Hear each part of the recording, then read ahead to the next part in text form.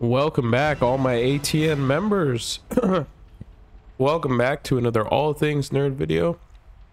As always, my name is Nathan. Welcome back to Draenor. We are in the Iron Docks, and today I'm going to show you how to get out of bounds. Now, this uh, out of bounds is fairly simple to perform. Now, I don't know if I actually did uh, the same method as others who have came before, but uh, this is how I got out. Um, basically, on the on the ship here, you can get to the last boss, and uh, getting to the last boss um, is you know easy because you know we are high level. But uh, yeah, I just wanted to also give credit to uh, who performed this glitch first, and I believe let's see, looking through my list here of who performed the OOB of the Iron Docks. And gosh, I got to go through my whole list.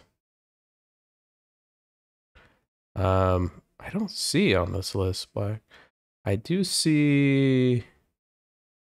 Let's see.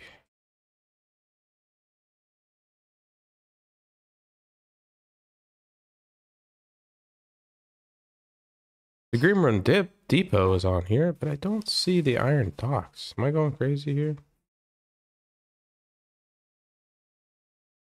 Ah, there it is. Okay, so the Iron Docks cred OB credit goes to Submerged and Mayton. Uh, so both of them are getting credit for the OOB here. So thank you to o, uh, Submerged Mayton from the ATN community. You guys are awesome. Um, I did want to say that uh, I don't know if I actually used their method to get out, but uh, yeah, it's pretty easy glitch to perform, and uh, let's uh, let's do it. So right over here on the very edge, you can literally just place a pillow like right here, and fall through, and there you go, and you're out of the map. Now feel free to explore wherever you want.